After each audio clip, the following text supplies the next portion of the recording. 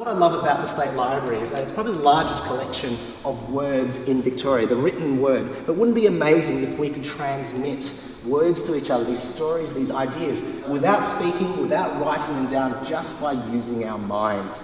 So what I want you to do, Hilary, is to open up this magazine to any page, a random page, hopefully it has a lot of words on it.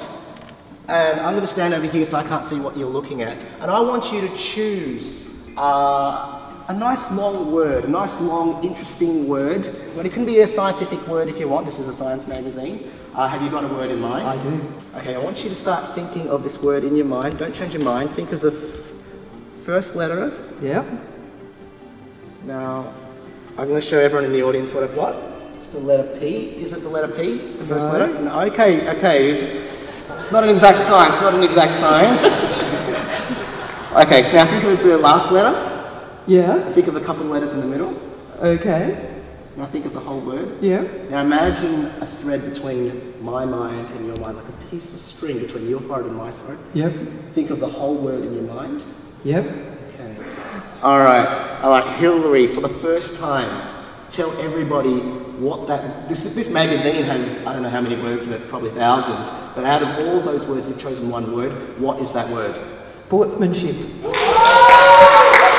What have I written on this piece of paper? You've written a bunch of letters that miraculously spell sportsmanship. And it seems like it could be quite amazing, right? It seems like it's amazing, but seriously, it's only one word. It's only one word that we're transmitting via our imagination. Yeah. But what if we could transmit an entire book?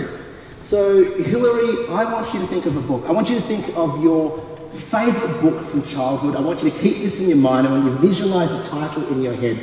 Now, you haven't told anyone this book.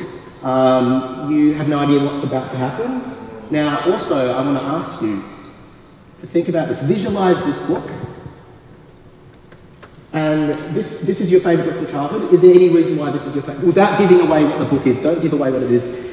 It was, it's my favourite because I can remember it, because choosing your favourite book is like having 400 babies and trying to choose your favourite baby, but I now read it to my kids, so that's good.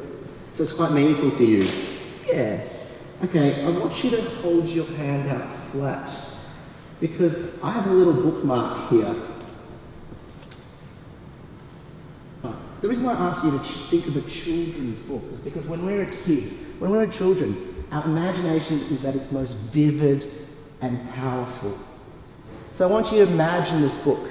I want you to imagine the cover of this, this book. Yeah. I want you to imagine if this cover of this, your favourite childhood book, could be on the back of this bookmark. This is increasingly freaking me out, but yeah. I'm, Wouldn't I'm that be amazing if that could become real? It would be really creepy.